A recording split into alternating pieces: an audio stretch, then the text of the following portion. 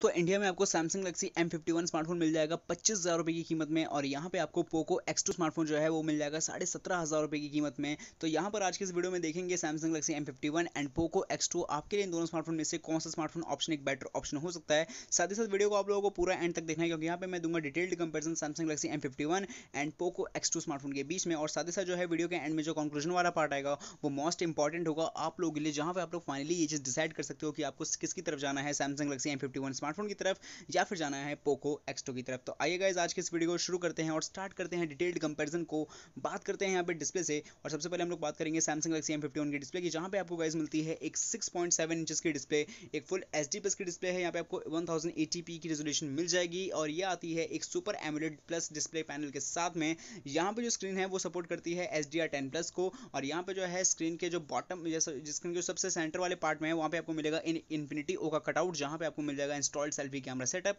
और जो पूरा स्मार्टफ़ोन का जो Samsung Galaxy M fifty one का जो डिस्प्ले है, वो प्रोटेक्टेड है कॉर्निंग के गोलगास थ्री से। तो ये तो बात होगी डिस्प्ले के मामले में Samsung Galaxy M fifty one की। कंपेयर करते हैं अगर पोको के एक्स टू से तो यहाँ पर डिस्प्ले की जो साइज़ है वो मिलती है आपको six point sixty seven inches की। एक फुल एच डी पी की डिस्प्ले है तो इसका मतलब वन थाउज़ेंड की रेजोल्यूशन यहाँ भी मिलेगी। एक आईपीएस पैनल है और यहाँ पे आपको मिलेगी वन ट्वेंटी हर्स की रिफ्रेश रेट यहाँ पे डिस्प्ले की बात किया जाए तो यहाँ पे आपको डिस्प्ले की जो प्रोटेक्शन है, वो मिलेगी कॉर्निंग के गोइलगास फाइव की। क्या कंपेरिजन है? दोनों स्मार्टफ़ोन में सबसे पहली बात करेंगे डिस्प्ले की साइज़ की तो यहाँ पे ज़्यादा वैसे कोई अंतर नहीं है। ज़ीरो पॉइंट थ्री इंचज का डिफरेंस है। ज़ीरो पॉइंट थ्री इंचज यहाँ पे इंक्रीजमेंट में देखने को मिल जाएगा आपको वो Samsung Galaxy M fifty one बात करें अगर डिस्प्ले की क्वालिटी की तो एक तरीके से दोनों सेम है, क्योंकि वहाँ पे आपको दोनों स्मार्टफ़ोन में आपको वन थाउज़ेंड एटी और से भी ज़्यादा रेजोल्यूशन मिल जाएगी। पर जो बात करें, जो डिस्प्ले का पैनल है, ये यहाँ पे फ़र्क आता है बहुत बड़ा वाला, जहाँ पे आपको पोको एक्स टू में मिलता है आईपीएस पैनल और जबकि सैमसंग वाले डिस्प्ले में मिलता है, यानी सैमसंग एम फिफ्टी में मिलता है, आपको सैमसंग की तरफ़ से आने वाला एक सुपर एमलेट प्लस का डिस्प्ले तो ये बहुत बड़ी चीज़ है अपने आप में। लेकिन यहाँ पे पोको एक्स आपको एक बहुत कमाल की चीज़ दे रहा है जो कि आपको लैपटॉप्स में देखने को मिलती थी कभी कभी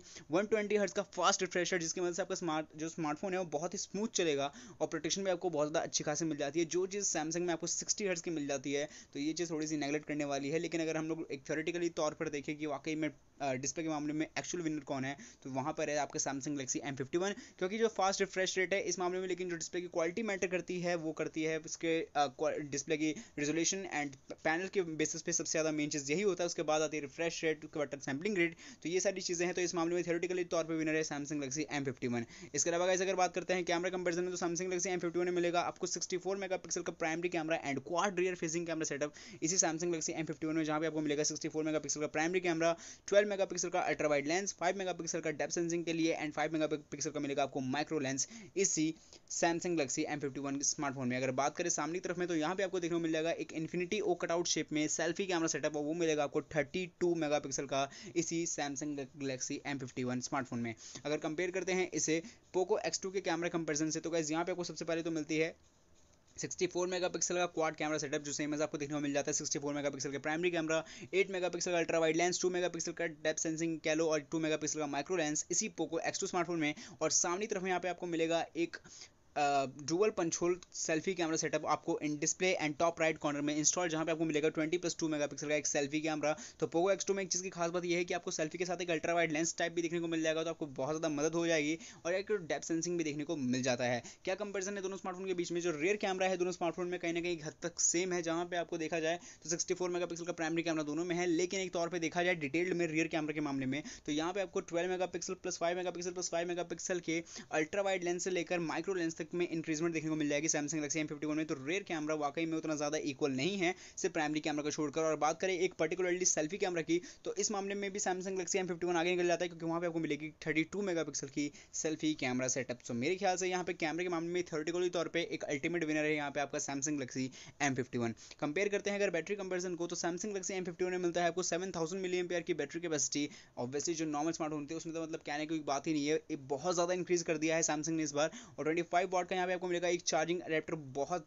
तेज़ फास्ट चार्जिंग अडेप्टर मिलता है और एक तरीके से बोलूँ तो सारे स्मार्टफ़ोन में आपको मतलब कि सैमसंग एम सीरीज़ के सारे स्मार्टफ़ोन उठाकर देख लो, वहाँ पे आपको 15 वॉट के चार्जिंग अडेप्टर मिलते थे और एक्सनोस नाइन सिक्स का प्रोसेसर एक एक मतलब सर्टिफाइड होता था डेफिनेटली ये होना ही होना है। तो वो चीज़ इस बार चेंज कर दी है। Samsung Galaxy M thirty one है, इसमें भी ट्वेंटी फाइव वाट का दिया था और इस बार Samsung Galaxy M fifty one में भी ट्वेंटी फाइव वाट का चार्जिंग अडेप्टर दिया है। तो ये बहुत ज़्यादा डिसेंट अपने आप में। इसके अलावा यहाँ पे आपको मिलती है USB type C to C connectivity इसका मतलब यहाँ पे जो चार्जिंग अडेप्टर का जो पोर्ट है उसमें भी आपको टाइप सी कनेक्टिविटी मिलेगी और स्मार्टफ़ोन में तो आपको यूज़ टाइप सी पोर्ट होता ही होता है। इस चीज़ का फ़ायदा यह है कि यहाँ पे आपको एक रिवर्स चार्जिंग का एक बेटर ऑप्शन मिल जाता है जब आपका स्मार्टफ़ोन किसी डेड होने की कगार पर होगा तो आप किसी दूसरे यूज़ टाइप सी स्मार्टफ़ोन वाले स्मार्ट मतलब पोर्ट वाले स्मार्टफ़ोन से आप अपने केबल को लगाकर दूसरे स्मार्टफ़ोन से एक रिवर्स चार्जिंग ले सकते हो, एक एग्जैक्ट तौर पे, एक अर्जेंट पावर कंजप्शन के तौर पे। तो ये बहुत ज़्यादा अच्छा है सैमसंग गलेक्सी एम फिफ्टी में। कंपेयर करते हैं अगर इसे पोको के एक्स के बैटरी कंपेरिजन से तो यहाँ पे आपको मिलती है फोर थाउज़ेंड फाइव हंड्रेड की बैटरी कैपेसिटी एक ट्वेंटी सेवन वॉट के चार्जिंग अडेप्टर के साथ में, और यूएसबी टाइप सी की यहाँ पे आपको मिल जाएगी कनेक्टिविटी तो क्या कंपेरिजन है इन दोनों स्मार्टफ़ोन में? सबसे पहले बात करें कैपेसिटी की तो इस मामले में जो है,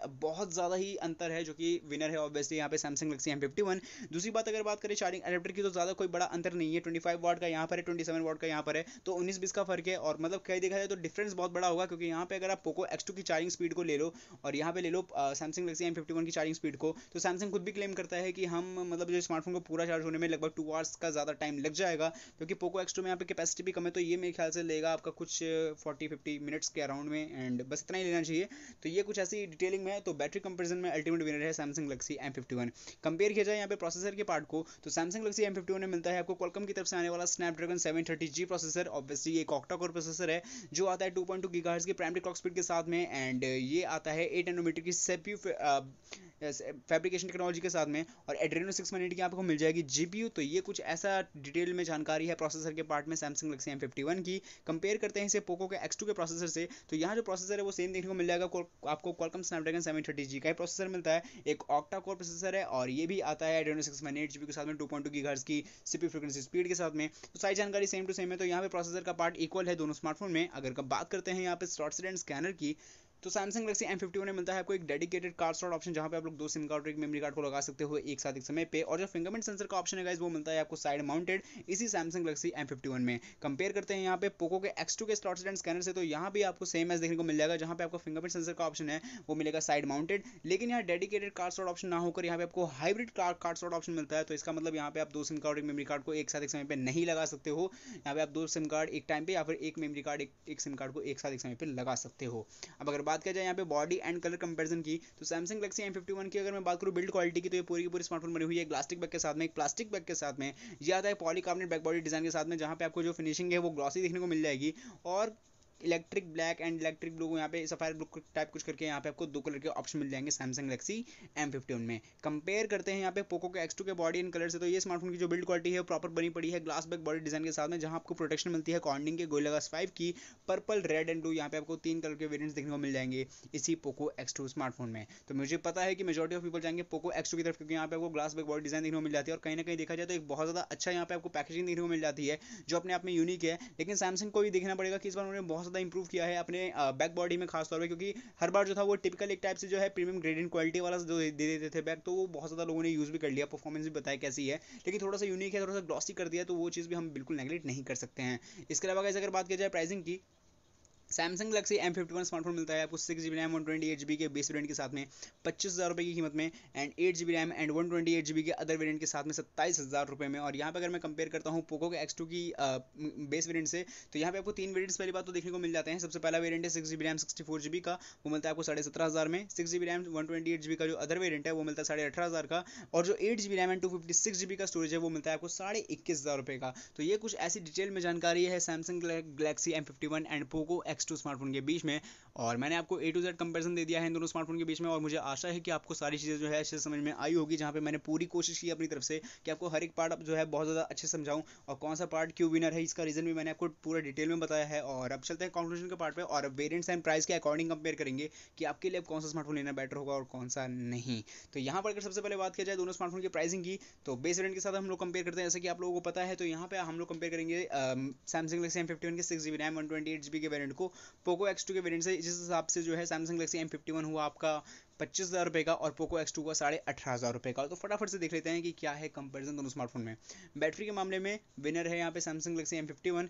बात की जाए डिस्प्ले की, इस मामले में विनर है Samsung Galaxy M fifty one लेकिन यहाँ पे आपको पोको एक्स टू में एक बहुत बहुत अच्छा फ़ायदा मिलता है। वो मिलता है वन ट्वेंटी हर्स का फास्ट रिफ्रेश रेट तो यानी कि आपको बहुत ज़्यादा स्मूथनेस मिलेगी। तो ये चीज़ आप लोग ध्यान रखना। इसके अलावा अगर बात करते हैं प्रोसेसर की तो मैंने जैसे कि बता दिया कि सेवन थर्टी जी और सेवन ट्वेंटी जी में मतलब दोनों स्मार्टफ़ोन में वैसे सेवन थर्टी जी का प्रोसेसर मिलता है। तो कोई मतलब ज़्यादा ज़्यादा क्या, कोई मतलब कोई डिफरेंशियस नहीं है, दोनों में इक्वल है। बात किया जाए अगर अगर यहाँ पे कैमरा की तो एक तरीके से देखा जाए तो कैमरा अगर रियर कैमरा की देखा जाए तो एक तरीके से दोनों में एक तरीके से सेम है, लेकिन जैसे कि मैंने डिटेल में बताया था कि यहाँ पे अल्ट्रा वाइड लेंस से लेकर माइक्रो लेंस तक जो है Samsung Galaxy M fifty one में इंप्रूवमेंट मिलती है। तो ये बहुत ज़्यादा रियर कैमरा में इंप्रूवमेंट है एज कंपेयर टू पोको के एक्स टू से, और सेल्फी कैमरा है, वो भी एम फिफ्टी वन का बहुत ज़्यादा बेस्ट है। तो मेरे हिसाब से कैमरे के मामले में winner Samsung Galaxy M fifty one है। बात की जाए अगर यहाँ पे स्कैनर्स वगैरह की तो सेम है। बात की जाए अगर बैक बॉडी की तो इस मामले में विनर एक तरीके से पोको एक्स टू यहाँ पे आपको ग्लॉसी बैग यानी कि ग्लास बैग बॉडी डिज़ाइन मिलती है। तो यहाँ पर देखा जाए एक तरीके से तो सारे के सारे वोट गए हैं सैमसंग गलेक्सी फिफ्टी वन को, सिर्फ़ एक चीज़ का वो है ग्लास बैक बॉडी डिज़ाइन को छोड़कर पोको एक्स टू में। तो क्या है इसलिए कंपेरिजन देखो, सबसे पहली बात जो है सैमसंग ने अपने एम सीरीज़ में इस बार खास तौर पर स्पेशली कहूँगा एम फिफ्टी वन सीरीज़ में इंप्रूवमेंट तो किया है। दो तीन चीज़ों में इंप्रूवमेंट किया है एंड ट्वेंटी फाइव थाउज़ेंड के अराउंड में सबसे पहले तो आपको सिक्स जी बी रैम का जो है वर्जन देखने को मिलता है one twenty eight G B के स्टोरेज के साथ में। तो यहाँ पर देख लेते हैं फटाफट जो हाईलाइटिंग चीज़ जिसकी वजह से यहाँ पे जो प्राइसिंग है, आपको ये दी गई है। सबसे पहली चीज़ जो है, यहाँ पे आपको जो है बैटरी कैपेसिटी बहुत बढ़ाकर दी गई है मतलब बहुत ज़्यादा अच्छी दी गई है। और इसके अलावा जो चार्जिंग एडेप्टर है, वो हर बार की तरह आपको पंद्रह वॉट का नहीं मिल रहा है, इसको ट्वेंटी फाइव वॉट का मिल रहा है और वो भी फास्ट है। USB type C to C connective वाला कनेक्टिविटी वाला आपको देखने को मिल रहा है, यहाँ पे पोर्ट तो ये बहुत ज़्यादा अच्छी बात है। दूसरी बात, यहाँ जो है डिस्प्ले में भी इंप्रूवमेंट की गई है और बहुत ज़्यादा इंप्रूवमेंट की गई है, जहाँ पे आपको H D R ten plus का सपोर्ट है इन्फिनिटी कटआउट शेप है, एक सुपर एमुलेट प्लस की डिस्प्ले मिल रही है, जो कि सैमसंग खुद ही प्रोवाइड करवाता है। तो आपको पता है कि डिस्प्ले की क्वालिटी अपने में कितना ज़्यादा यूनिक है। इसके अलावा यहाँ पे कैमरे के पार्ट को देखा जाए तो यहाँ पे आपको कुछ अच्छे फीचर्स मिल जाएँगे इंटेलिक फीचर ए डिटेक्शन वगैरह अगर देखा जाए। और सबसे मेन चीज़, जो कि हम हर बार नाराज़ निराशा पूर्वक हो जाते थे सैमसंग के स्मार्टफ़ोन से। Exynos nine six one one का प्रोसेसर एटलीस्ट नहीं है इस बार Samsung Galaxy M fifty one smartphone में। तो ये बहुत ज़्यादा अच्छा कर दिया यार इन लोगों ने कि सेवन थर्टी जी का एटलीस्ट प्रोसेसर दिया है। ये प्रोसेसर बहुत ज़्यादा डिसेंट है हाँ नया नहीं है, पुराना है, खैर, लेकिन